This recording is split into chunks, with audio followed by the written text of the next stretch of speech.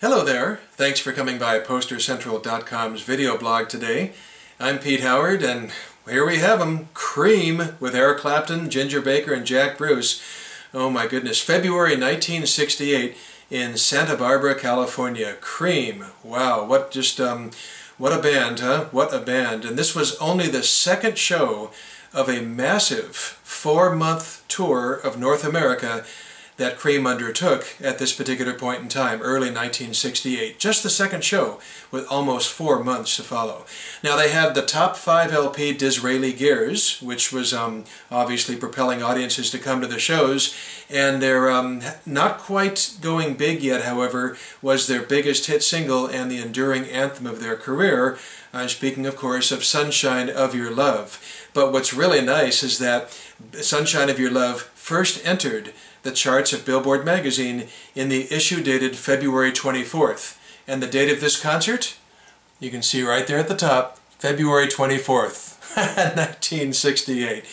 Oh my goodness, I just love that chart synchronicity when it can happen. And so, you know, what a, what a day to see Cream, right? When Sunshine of Your Love first enters the charts. And I remember it was just played all summer long. It just would never go away, and that's okay because, as I said, such an enduring anthem. But that's really quite a time to see Cream, that's for sure.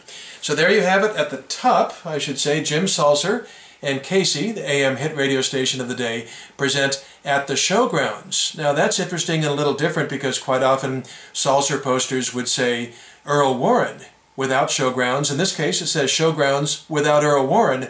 I think he must have felt that, um, you know, the full three-word description for the venue was just too cumbersome, and so maybe he traded off a little bit. But as I said, usually it's referred to as Earl Warren. But on this Cream poster, it's known as the showgrounds. Then you've got Cream's name quite cryptically um, in those five boxes there. And um, I'll have to say, that's among the most cryptic and hard to read of a headliner's name I've seen on a psychedelic concert poster, because uh, obviously the first goal of the poster artist and the promoter is to sell tickets and grab attention.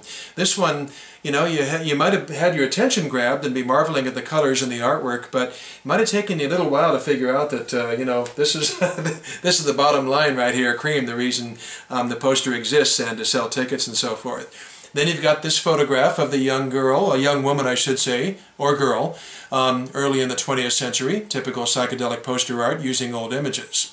And uh, on either side of her, you've got the opening acts, including Henry Fredericks there, I, I'm, I'm sorry, I mean Taj Mahal, as his stage name was known as. Um, obviously Taj over on that side. And uh, this was the same year as Taj's debut album, I believe on Columbia Records, with Ry Cooder and Jesse Ed Davis playing on the record. I don't know if they were playing with him in concert at this particular time.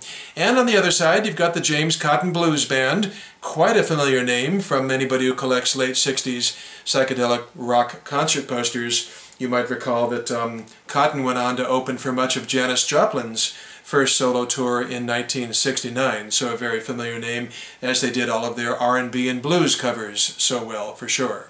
And then you've got the small print at the bottom, and I do mean small, over here on this side in the blue box there, if I can get in for it. It does give a, um, a credit Lights by Omega's Eye. And then over on this side, I practically have to point it out, it's so tiny. I mean, that is a tiny credit. For the poster artist, it says F. Betancourt, which um, that of course is Frank Betancourt, who did quite a quite a few of Salzer's posters.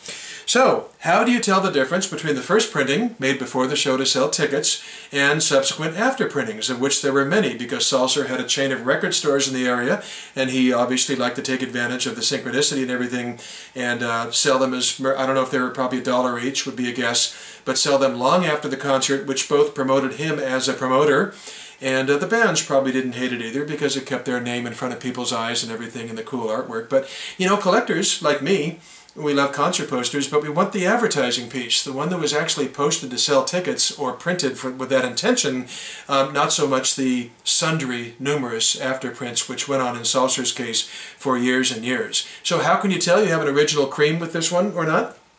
It's a pretty simple tell. There's no printer's bug down at the bottom or anything, but it's all in the girl and her dress.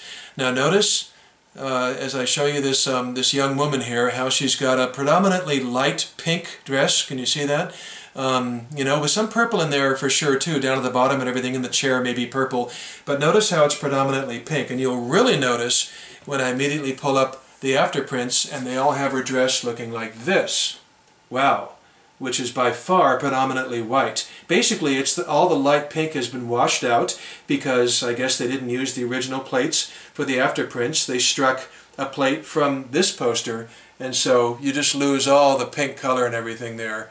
I don't know if I should try to get them side by side. Look at that difference. I mean, it's just quite a difference, and you can you don't need the two posters to see that difference. You can discern that over the phone just by asking somebody, is the girl's dress mostly light pink or is it mostly just this really blast of solid bright white? I mean, there's just no question what that can be. So, so that's how you tell the difference, and for collectors, we like that, because we like to be able to tell the difference easily and get the original that was made before the show. Cream, what can I say? Wow, wonder if they were doing 20-minute I'm So Glads yet, or whatever. Boy, just killer band, great psychedelic concert poster by Jim Salzer from 1968, beginning of a long tour that took a third of a year. But Wish I was there, you probably do too, or maybe you were. Thanks a lot for stopping by. It's been fun showing you this, and we'll see you next time for something else. Okay, bye-bye.